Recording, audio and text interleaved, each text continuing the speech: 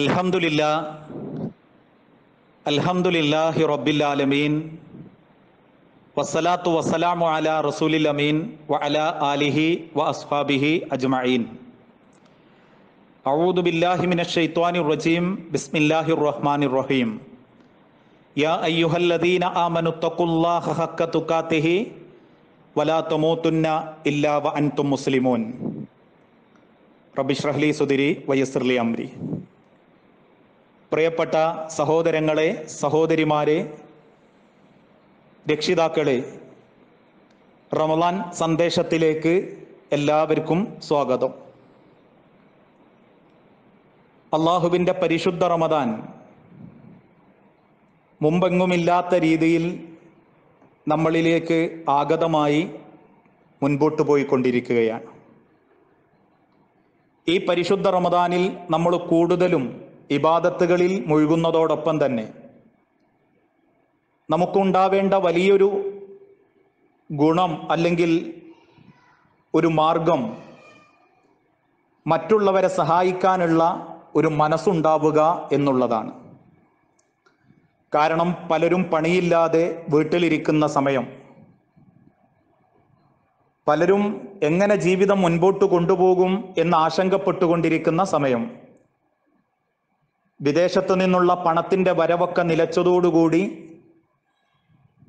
പല ഗൾഫ് കുടുംബങ്ങളിലും കഴിഞ്ഞ റമദാൻ വരെ നോമ്പ് തുറപ്പിച്ചും ഭക്ഷണം ഉണ്ടാക്കിയും സ്റ്റാറ്റസും സന്തോഷവും പ്രകടിപ്പിച്ചിരുന്ന ആളുകൾ പോലും വിദേശത്തു നിന്നുള്ള പണത്തിന്റെ വരവിന്റെ പേരിൽ ഏറെ പ്രതിസന്ധി നേരിട്ടുകൊണ്ടിരിക്കുകയാണ്.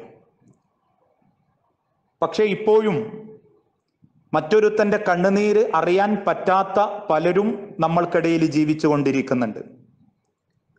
വിശ്വാസത്തിന്റെ ഭാഗങ്ങളെപ്പറ്റി വിശദീകരിക്കുന്ന സമയത്ത് നബിസല്ലാഹു അലൈഹി വസ്ലമ വിശുദ്ധ ഖുർആാനിലൂടെ പഠിപ്പിച്ച ഒരു ഭാഗം അല്ലദീന യുംഫിക്കൂന വല്ലറാ യഥാർത്ഥ വിശ്വാസികൾ അവരുടെ വിഷമഘട്ടങ്ങളിലും അവരുടെ സന്തോഷഘട്ടങ്ങളിലും ധനം ചെലവാക്കുന്നവരായിരിക്കും.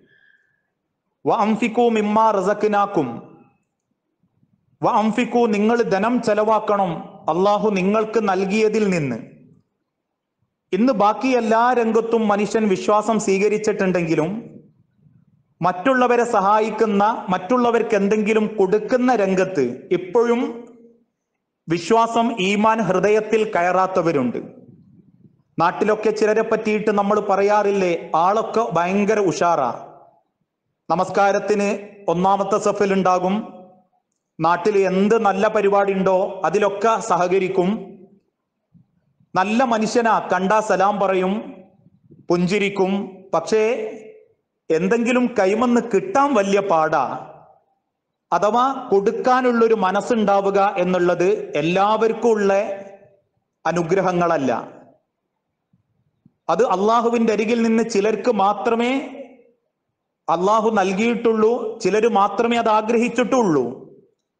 കൊടുക്കാനുള്ള മനസ്സ് മറ്റുള്ളവരെ സഹായിക്കാനുള്ളൊരു മനസ്സ് അത് ഈമാനുള്ള ഹൃദയത്തിൽ ഈമാനിന്റെ തെളിമയുള്ള വ്യക്തികൾക്ക് മാത്രമേ സാധിക്കുകയുള്ളൂ. കാരണം സ്വന്തം അധ്വാനത്തിൽ നിന്നും സ്വന്തം ലാഭനഷ്ടങ്ങളിൽ നിന്നും സ്വന്തം സമ്പത്തിൽ നിന്നും മറ്റൊരുത്തന്റെ കണ്ണുനീരൊപ്പാൻ വേണ്ടി പണം ചെലവാക്കാൻ സമ്പത്ത് ഉപയോഗിക്കാൻ ഒരാളുടെ മനസ്സ് പാകപ്പെടുന്നുണ്ടെങ്കിൽ നിസ്സംശയം പറയാം. അത് നമസ്കാരത്തെക്കാൾ നോമ്പിനേക്കാൾ സ്വന്തം പൈസ മുടക്കി ചെയ്യുന്ന ഹജ്ജിനേക്കാൾ മറ്റെന്തിനേക്കാളും ഒരു ഈമാനിന്റെ ലക്ഷണമാണ് സ്വന്തം മുതൽ മറ്റൊരുത്തന് വേണ്ടി അവന്റെ സന്തോഷത്തിനും സമാധാനത്തിനും ചെലവാക്കാൻ കാണിക്കുക എന്നുള്ളത്. മഹാനായ പ്രവാചകൻ സല്ലല്ലാഹു അലൈഹി വസ്ലമയുടെ കാലഘട്ടത്തിൽ സഹാബാക്കൾ അത് നിർവഹിച്ചിട്ടുണ്ട്. നിങ്ങൾ അള്ളാഹുവിന്റെ മാർഗത്തിൽ കൊടുക്കണമേ എന്ന് പറഞ്ഞപ്പോ ചില സഹാബാക്കൾ നബിസല്ലാഹു അലഹി വസ്ലമയുടെ അരികിൽ വന്ന് കരയാൻ തുടങ്ങി. കാരണം അവരെ കയ്യിൽ കൊടുക്കാൻ ഒന്നുമില്ലാത്തതിന്റെ പേരിൽ. നബിയെ പണമുള്ളവർ അള്ളാന്റെ സ്വർഗം വാങ്ങുന്നു. ഞങ്ങൾ എങ്ങനെ നേടും? നബി സല്ലല്ലാഹു അലൈഹി വസ്ലമ പറഞ്ഞു ഒന്നുമില്ലാത്തവർ പുഞ്ചിരിക്കട്ടെ. അതിന്റെ അർത്ഥം എന്താ? ഇരുന്നൂറ് റുപ്യ വരുമാനമുള്ളവൻ കൊടുക്കണ്ട കിട്ടാൻ അവകാശിയാന്നല്ല. പത്ത് രൂപ കിട്ടുന്നവനാണെങ്കിലും ഒരു രൂപ കിട്ടുന്നവനാണെങ്കിലും അതിൽ നിന്ന് മറ്റൊരാളെ സഹായിക്കാനുള്ള മാർഗം കണ്ടെത്തണം എന്ന് ഒരിക്കൽ നബി സല്ലാഹു അലൈഹി വസല്ലമ മദീനത്തെ പള്ളിയിൽ ഇരിക്കുമ്പോ സഹാബാക്കളോട് ചോദിച്ചു ആരുണ്ട് ഇസ്ലാമിന് ദാനം ചെയ്യാൻ കടം കൊടുക്കാൻ?